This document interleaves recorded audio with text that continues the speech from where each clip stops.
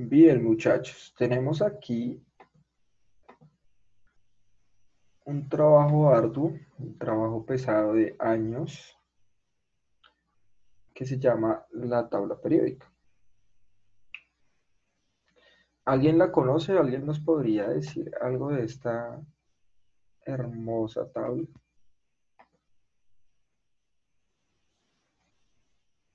Bueno, miremos acá qué nos dice. Espérenme un momento que nos sirve. A ver, Joel, ¿qué nos puedes decir de esta? De esta hermosa tabla.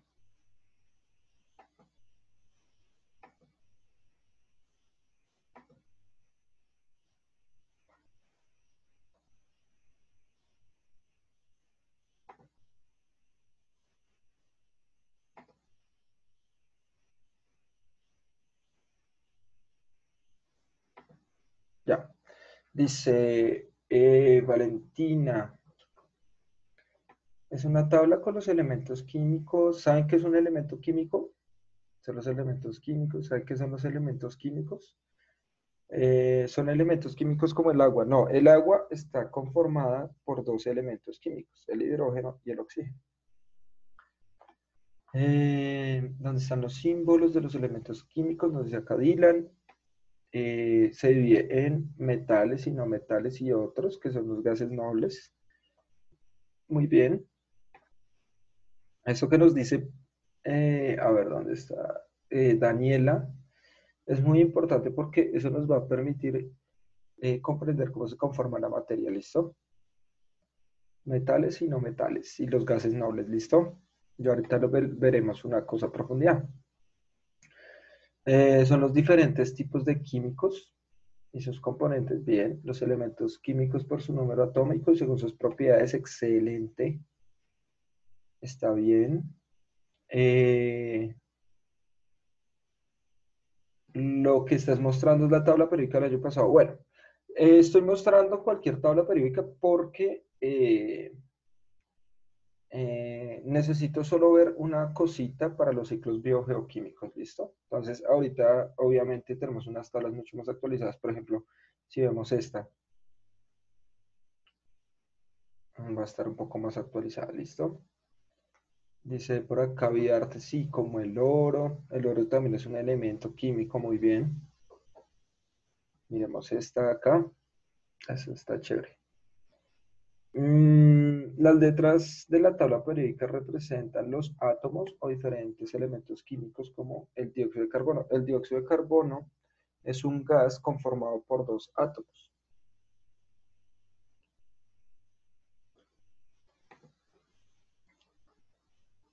Mm, se llama científicamente el AU, ese es el oro. Eh, se vienen gases no metales y no metales. Bueno, acá Pinilla me escribe algo tal vez de internet. listo. Es una herramienta gráfica donde se representan los elementos. bueno.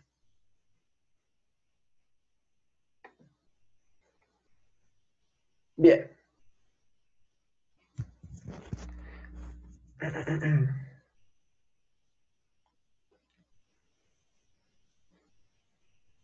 ¿Me escuchan mal, amigos?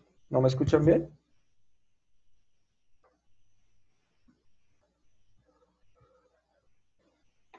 Mm.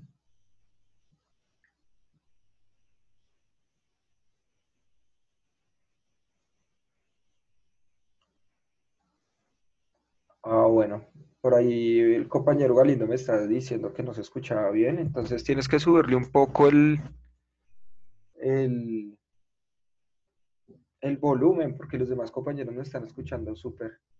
¿Listo?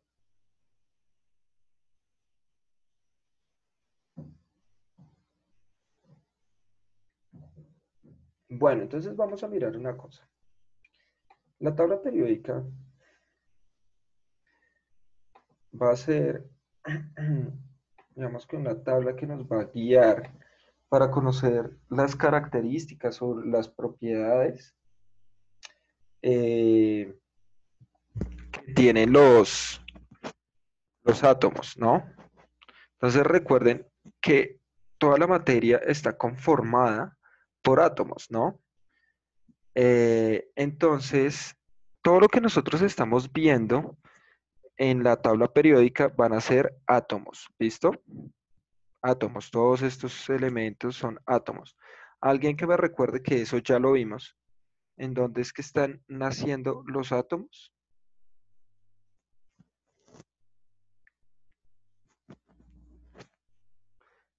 las células no puede ser porque las células están conformadas por miles de millones de átomos.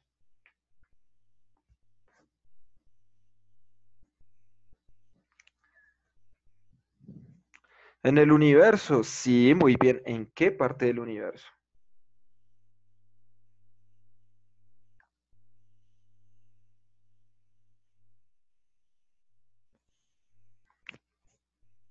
En todos lados, no. Hay un lugar específico del universo donde se formaron los eh, átomos, ¿no?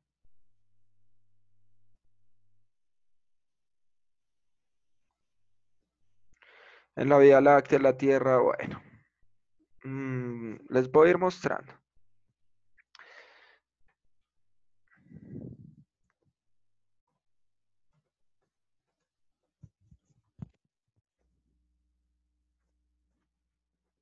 Bueno, por acá me dicen que el Big Bang, sí, digamos que gran cantidad de los átomos en parte se formaron por eso, pero miles de millones de años después de que se dio el Big Bang. Bueno, miren esto, esto es la muerte de una estrella gigante. ¿Sí? Recuerden que nuestro Sol es una estrella muy pequeña, es muy pequeña, obviamente es eh, muchísimo más grande que nuestro planeta, pero eh, esta, esta estrella eh, que estalló formó esto que se llama una supernova. En las supernovas y en otras parecidas que se llaman nebulosas, cuando estallan, toman muchos colores. Y toman esos colores es porque se están creando y se están destruyendo al tiempo millones de átomos. ¿Listo? Eh, entonces me dicen acá, en el Big Bang se originaron las primeras eh, partículas materiales. Quark, protón, electrón, y ahí se formaron los átomos. Sí. Eh, los primeros átomos, sobre todo el hidrógeno, el helio, ¿cierto? Todos estos eh, elementos fueron formados a partir del Big Bang, pero con estos elementos se formaron las estrellas. Recuerde que las estrellas son bolas de gases, no es fuego. No puede ser fuego porque no hay tanto oxígeno regado en el, en el universo, ¿no?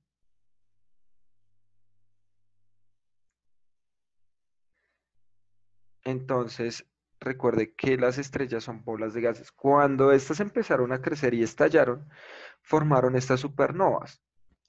Y formaron la mayoría de átomos que conocemos. Ahora, los átomos que están acá en la Tierra pasaron por millones de años luz que viajaron y viajaron y viajaron y viajaron hasta llegar a,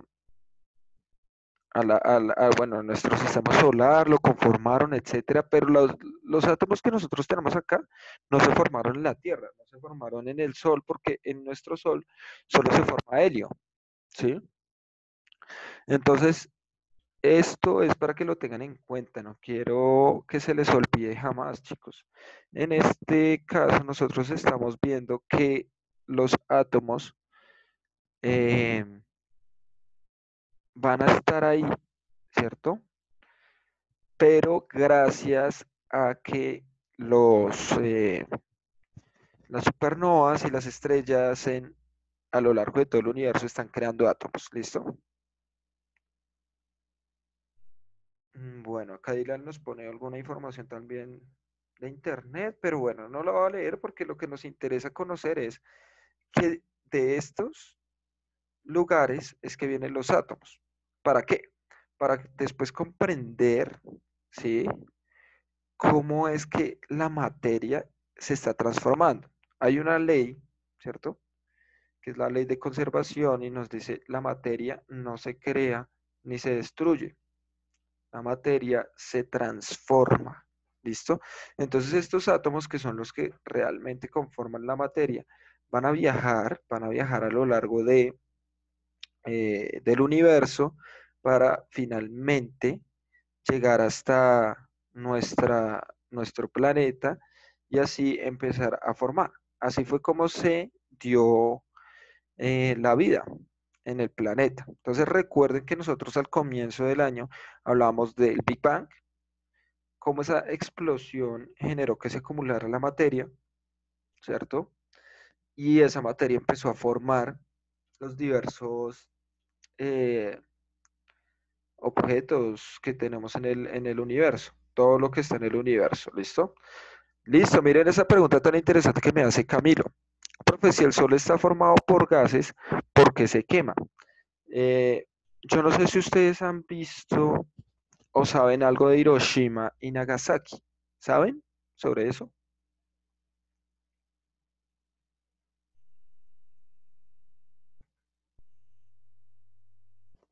¿No saben sobre Hiroshima ni Nagasaki? Bueno, miremos. En la Segunda Guerra Mundial, eh,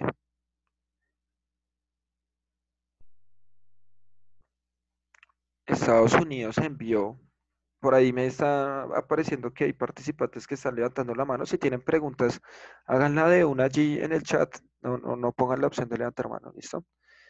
De la guerra de Vietnam, no.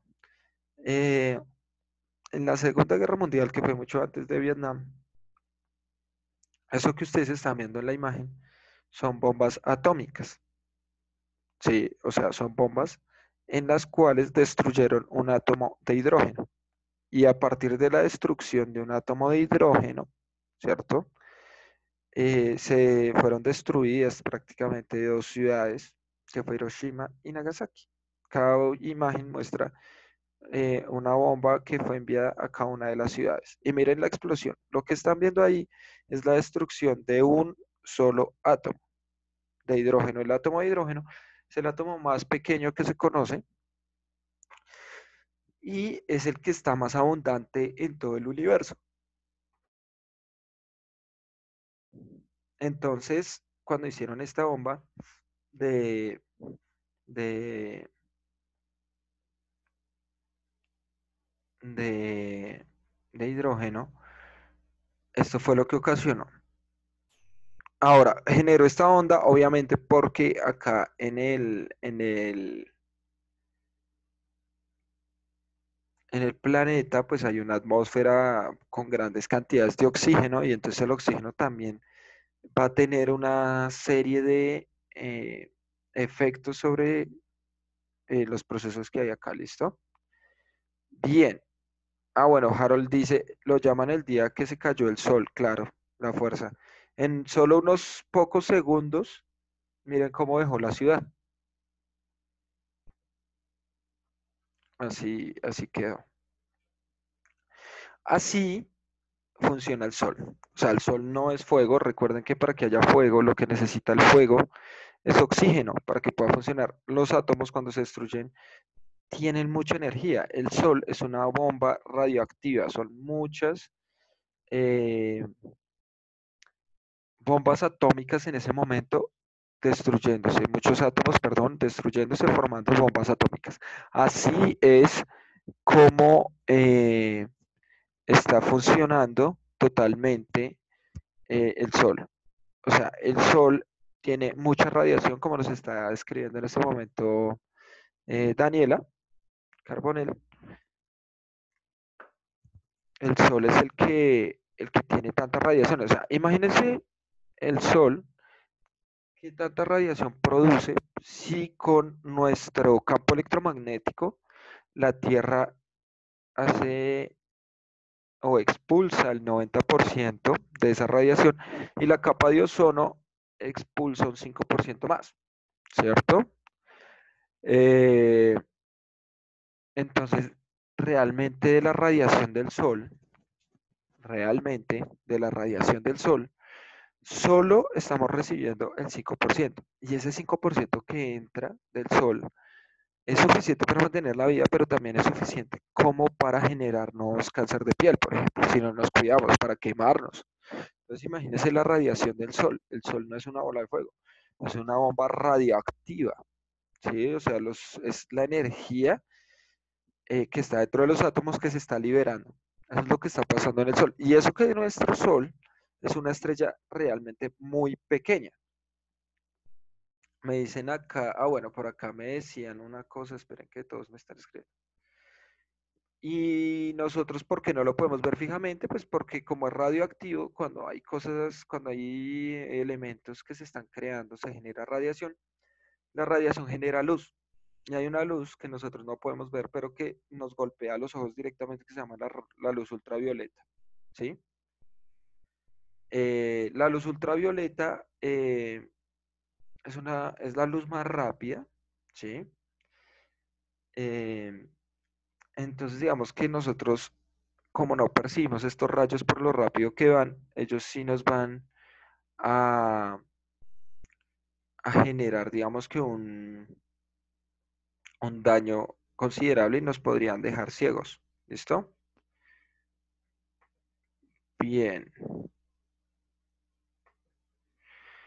Espérenme un momentín.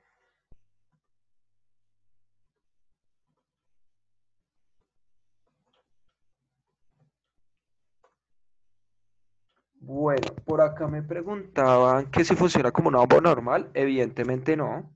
Evidentemente no funciona como una bomba normal porque eh, una bomba normal pues tiene un detonador, etc. Esto también lo tiene, claro, pero pues lo que genera es la destrucción de un átomo. Entonces, pues es mucho más fuerte, ¿no? Si ese país sigue así todo destruido, no, no, no, no. Es una ciudad actualmente muy hermosa. Miren esto. Eh, este edificio que ustedes ven en pantalla en la mitad es un... Eh, lo dejaron, digamos, como un monumento de memoria, de memoria. ¿Listo?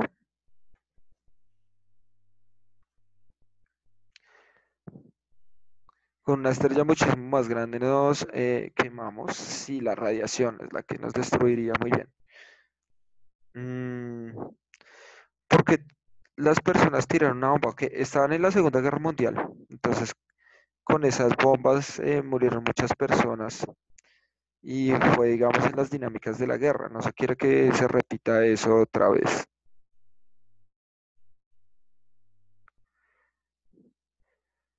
O sea que si el sol se cae en la Tierra, la Tierra explota. Bueno, el sol no se puede caer en la Tierra sencillamente porque eh,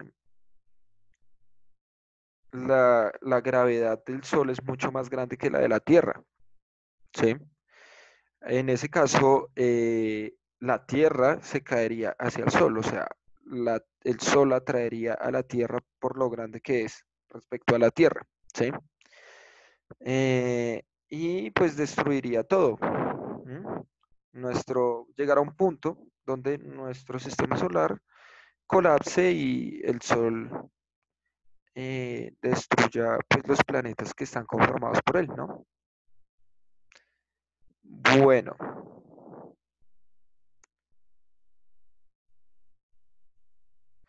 Miren lo que me dice acá Paula, profe, pero si acabaste de decir que el sol no era fuego para que una persona eh, intente hacer un incendio en el espacio. No se podría, no, sería muy difícil porque el, hay muchos más gases.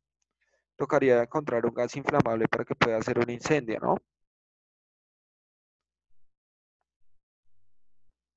Dice acá que, profe, ¿por qué nunca se apaga el sol? No, las estrellas sí tienen un ciclo y nuestro Sol ya está empezando a crecer para, destruirse. Pero eh, tardará muchos millones de años, ¿no? Mm, entonces, mire, acá Liliana nos dice, ¿por qué nunca se apaga el fuego del Sol? Porque no tiene fuego. ¿Listo? Porque no tiene fuego. No es fuego, es energía radiactiva, radiación. ¿Listo? Eh, si la bomba atómica explota el átomo de hidrógeno y destruye ciudades, ¿cómo sería si no tuviera átomos de hidrógeno? Bueno, sí, claro. Incluso ya ahorita hay bombas que tienen más de un átomo de hidrógeno. Más. O sea, esas ciudades fueron destruidas solo por uno, un átomo de hidrógeno. Ahora hay de tres, cuatro, bombas de tres o cuatro átomos de hidrógeno. Eh, si otros universos tal vez pudiese viajarse por los agujeros negros, eh, no se ha comprobado, la verdad es muy difícil comprobarlo porque están a años luz. Profe, ¿no debería haber radiación aún así? ¿Cómo así? No entiendo. La bomba no, ah, en, las ciudades sí, claro, claro, claro, claro. Eh, ya ha disminuido. Recuerden que esa bomba la lanzaron, o bueno, si no saben, pues les comento. La lanzaron en 1945, ¿listo? Entonces, digamos que ya se ha disipado, todavía se dice que hay zonas con gran radiación, pero ya se puede vivir.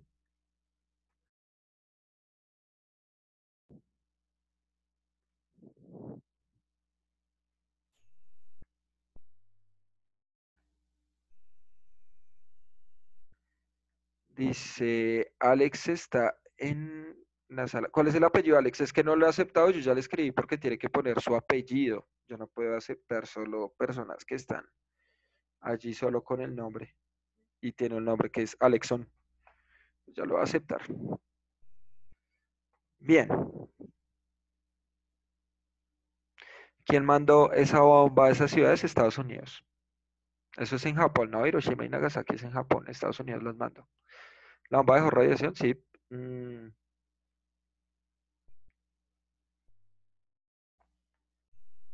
¿El Sol constituye la mayor fuente de radiación electromagnética del sistema solar? Claro que sí. Y va a ser muy importante, ¿no?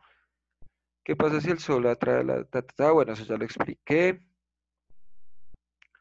Profe, ¿se puede prender un fósforo el espacio? No, porque no hay gran cantidad de oxígeno. Si el Sol muere, toda la Vía Láctea también. No, no. No, no, no. La Vía Láctea es muy, eh, muy grande y el sistema solar es solo una pequeñísima parte. En el espacio se podría vivir. Recuerden que hay eh, ahorita astronautas alrededor de la Tierra, ¿no? Si se destruye el Sol, ¿qué pasa? Bueno, pues eh, daña, o bueno, destruye prácticamente los planetas que están en el, el sistema solar, ¿no? Mm, porque el espacio es tan frío. Imagínate que en el espacio hay una gran cantidad de radiación de energía eléctrica, de, perdón, eh, fotolumínica, y se puede volver energía en forma de calor. Pero eh, como no hay tantos objetos, pues esa, esa energía en forma de calor se disipa por todo el universo, ¿listo? Una granada tiene el mecanismo de una bomba, si tiene un detonador, solo que el temporizador es más rápido, bueno, pues yo voy a seguir avanzando. Hay unas preguntas muy repetidas. Que tiene un agujero negro. Mm, se supone que es eh, materia oscura, se llama eso, o antimateria. Eh, que es una proporción de eh, materia, pero que nosotros no podemos ver. Entonces tiene mucha gravedad, ¿listo? Bueno, voy a seguir pasando porque tengo muchos, muchos, muchos mensajes. Entonces no alcanzo a leerlos todos para seguir con el tema, ¿listo? Mm, ¿Cuánto se demoró en reconstruir la ciudad? Creo que como unos 20 años. Profe, ¿qué pasa con Chernobyl? ¿Está deshabitado? Bueno, sigamos, sigamos. Eh, profe, si una estrella cae, ¿qué pasa? Es que creo que... O no sé, ¿alguien me podría explicar? Bueno, me preguntaba Valentina, nos volvemos a conectar, obviamente, obviamente. Eh, ¿Qué es caerse? O sea, caerse es sentirse atraído por la gravedad de un cuerpo mucho más grande. Por ejemplo, cuando yo me caigo en la Tierra, es que la gravedad de la Tierra me está trayendo hacia su núcleo, ¿sí? Ah, bueno, acá me hacen una pregunta muy interesante para los ecosistemas. Miren esto. ¿Qué pasaría si la Tierra ya no hace traslación y rotación? Pues sencillamente eh, habría una parte muy caliente y una parte muy fría dentro de nuestro planeta. Eh, se mantiene la temperatura por eso mismo, por la rotación y por la traslación. Y ya no habrían estaciones, ¿listo? Bueno. Mm. Porque se necesita un traje para ir al espacio en vez de un respirador por la radiación. Si no, la radiación del Sol destruiría el cuerpo de los astronautas. Bueno.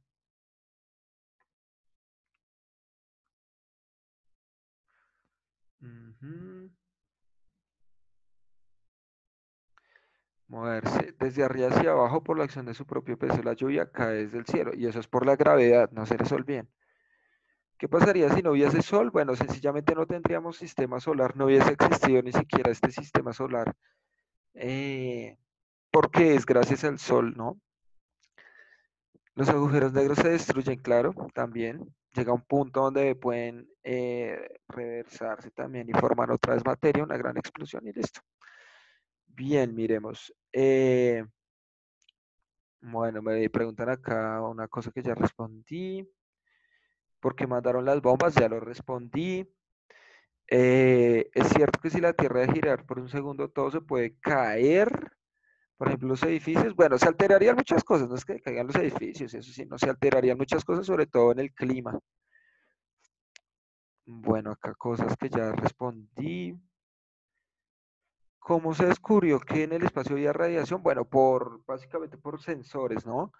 Por sensores que se desarrollaron eh, se pudo descubrir eso. Bien. ¿Qué pasaría si no existieran otros planetas? Bueno, depende de qué planetas estamos hablando. Si estamos hablando de los planetas del sistema solar, pues cambiaría mucho la gravedad.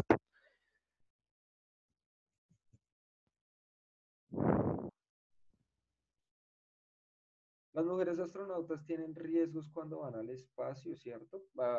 igual que un hombre. No sé qué cambiaría los planetas están flotando en el espacio, sí, pero se mueven por el, el campo electromagnético, listo, recuerden. El choque sería inmenso si la Tierra se parara, claro.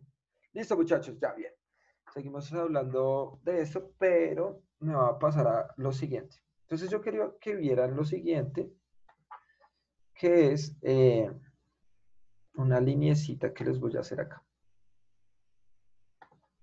Miren, Acá nosotros vemos como, una, como un triangulito, ¿cierto? Los estoy dibujando. En ese triangulito nosotros vamos a tener unos elementos que los vamos a llamar los no metales, ¿listo? Y bueno, salen los metaloides como esos rosaditos que están allí, rojitos.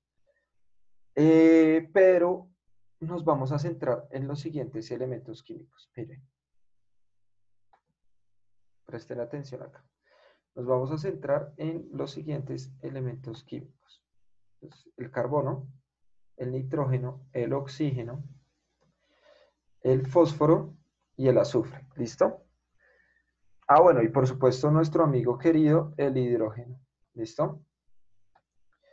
Estos elementos van a ser importantes porque van a conformar eh, algo que llamamos los ciclos biogeoquímicos. ¿Listo?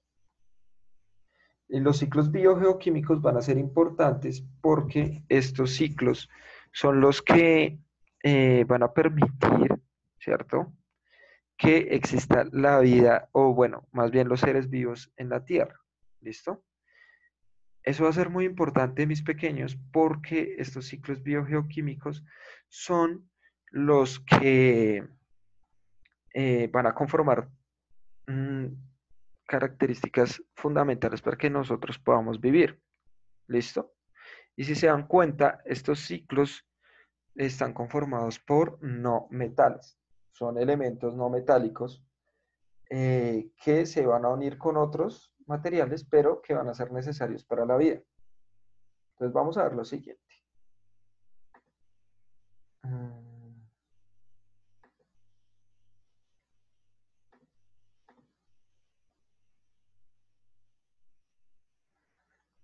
Vamos a ver esta imagen.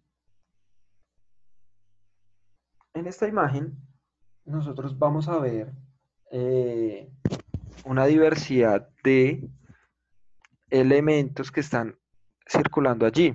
Por ejemplo, nosotros tenemos el ciclo de, del oxígeno, que tiene que ver con la respiración, pero a su vez tiene que ver con la eh, fotosíntesis. ¿Listo? Podemos tener el ciclo del nitrógeno, que, el cual tiene que ver con eh, los rayos, con el nitrógeno que nosotros tenemos. Nitrógeno va a ser muy importante porque va a formar nuestro ADN, nuestro material genético. Eh, bueno, estos ciclos biogeoquímicos, miren acá, que los vemos, este es el ciclo del agua, que el agua está conformado por hidrógeno y oxígeno, es H2O, dos hidrógenos y un oxígeno. Eh, está pasando por un proceso, miren, se evapora el agua, forma las nubes, estas se condensan, se precipitan, o sea, llueve, ¿cierto? Forma los ríos, estos viajan y llegan hasta el mar. ¿Listo? Bien, muchachos, entonces yo en el modo, en este preciso momento, voy a dejar el link para que ustedes hagan la actividad, le toman pantallazo y nos conectamos a las 8 y 25, mm, ¿listo?